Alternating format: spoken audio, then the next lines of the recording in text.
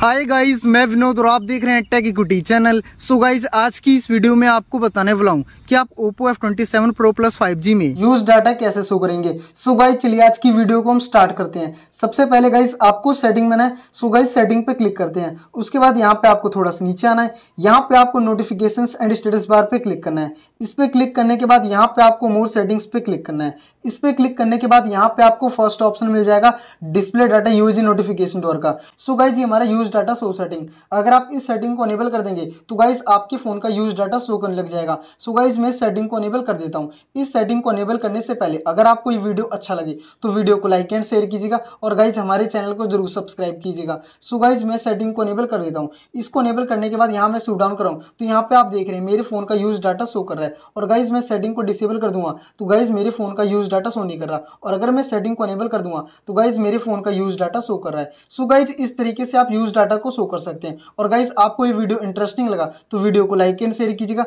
और गाइज़ हमारे चैनल को ज़रूर सब्सक्राइब कीजिएगा। तब तक के लिए bye bye tata thank you